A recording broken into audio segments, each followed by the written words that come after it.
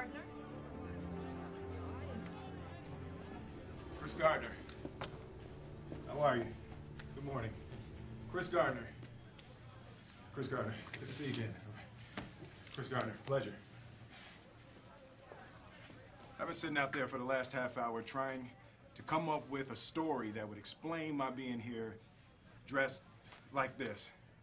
And, and I wanted to come up with a story that would demonstrate qualities that I'm sure you all admire here, like, like earnestness or diligence and team playing to something.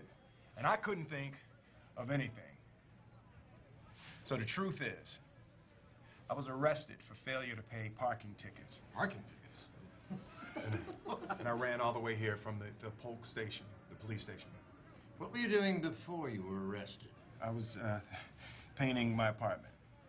Is it dry now? I hope so. Jay says you're pretty determined. Oh, he's been waiting outside the front of the building with some 40-pound gizmo for over a month. He said you're smart. I like to think so. And you want to learn this business. Yes, sir. I want to learn this business. Have you already started learning on your own? Absolutely. Jay, Yes, sir. how many times have you seen Chris? No, I don't know.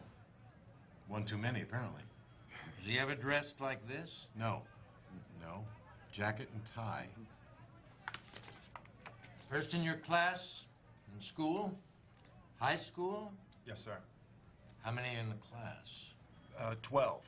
It was a small town. I'll say.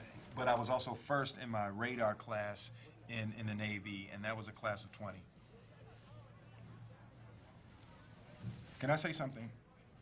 Um, I'm the type of person, if you ask me a question and I don't know the answer, I'm going to tell you that I don't know. But I bet you what? I know how to find the answer, and I will find the answer. Is that fair enough? Chris,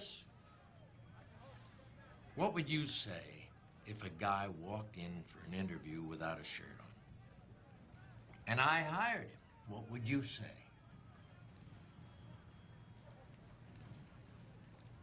He must have had on some really nice pants.